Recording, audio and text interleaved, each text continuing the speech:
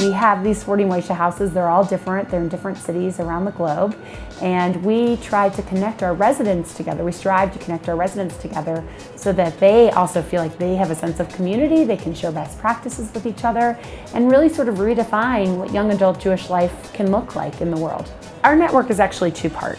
We have a a closed network of selected individuals who are the residents that live in the houses. They go through a selection process.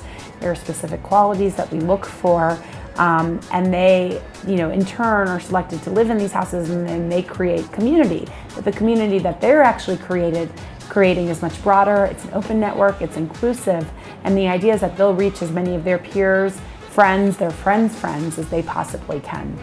Um, we've actually had residents that have lived in one particular Moishe house in one city, um, and at this given point in their life, they're moving to a next city, and they'll actually be the leader that will create Moishe House in their brand new city. And that's a really sort of contagious effect of the network that we do have.